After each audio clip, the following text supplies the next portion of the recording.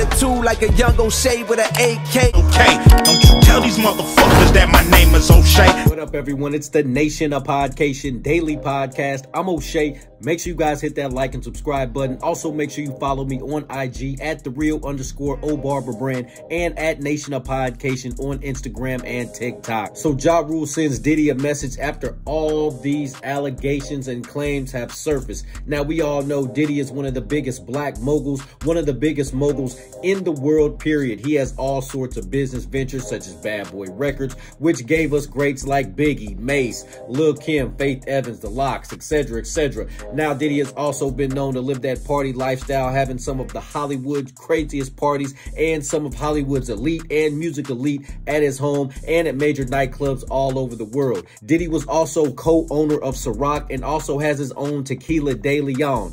Now, recently Diddy has been in the news, but for all the wrong reasons. He was recently accused of some heinous acts with his former girlfriend, Cassie.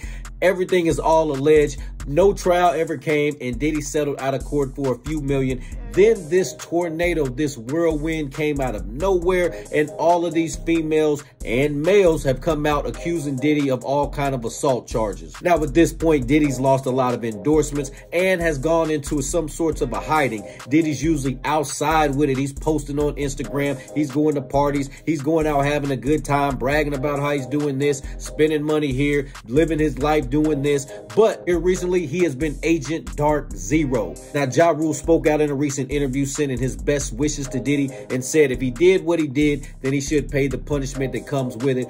But if those are accusing him are fabricating these stories to extort him, then they should receive a serious punishment of their own. Let's listen to this clip from Ja Rule as he explains.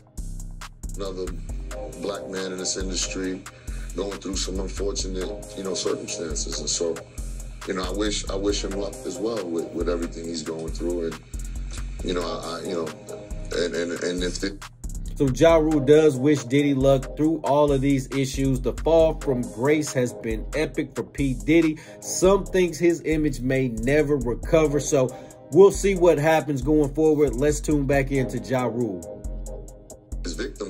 You know, I, you know, I, I can't speak on things that I don't know about Pierce, so I, I wish everybody, you know, love. You know, it's it's a it's a very um unfortunate thing for, for, for the victims of these, you know, uh, situations.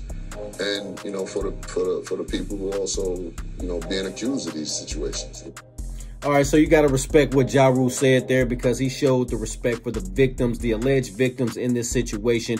But it is a very sensitive subject, so let's tune back in and see what else Ja Rule has to say about it. Um, I believe in, in, in justice, and I believe in the, you know, the crime fitting the, you know, the punishment fitting the crime. I believe in that as well.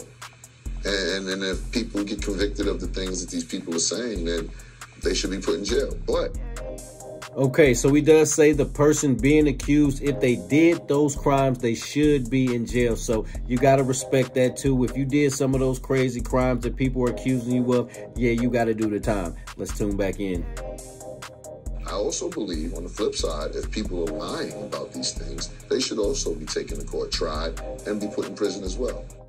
And there you have it. Ja Rule said if these alleged victims are caught lying, caught fabricating these stories to extort Diddy, then they should be punished as well. This is another black mogul gone down. Until all the facts come out, we don't know what's true and what's been made up. I'm going to have to agree with Ja Rule on just about everything he said here. If Diddy did it, then he needs to be held accountable for his actions. If not, then those accusing him need to suffer their own set of consequences. Now, I'm looking forward to what 50 Cent has to say here. He's been a big troll to both of these guys over the last few years, and especially Ja Rule over the last 20 years. They've been going back and forth, and him recently with Diddy, them, they've been going back and forth on social media, especially with all these allegations that have been popping up. Well, I know Floyd Mayweather said some stuff like this, trying to give Diddy some love or give him some respect in his interview, and 50 Cent called out Floyd Mayweather. You know how tight Floyd and 50 Cent used to be, but they got this whole frenemies thing going on with their own situation. Once again, if Diddy did these crimes, then he is going to have to sit down or pay or whatever comes with that crime,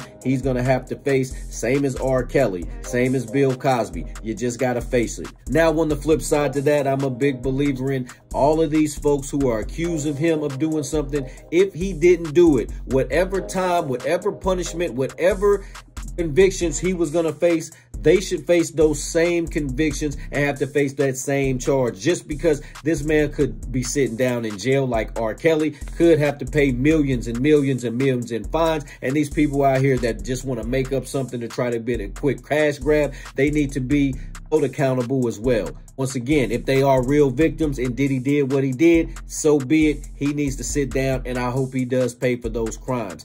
Nation, what do you think about P. Diddy's situation? Do you think he did it? Do you think he's innocent? Do you think it's somewhere in the middle? What do you think about Ja Rule's comments? Let me know in the comment section down below and make sure you guys hit that like and subscribe button on your way out. O'Shea and I have been kicking it strong for a minute now. O'Shea doesn't drink, he doesn't smoke. O'Shea is a professional model. Attitude like a young O'Shea with an AK. Okay, don't you tell these motherfuckers that my name is O'Shea.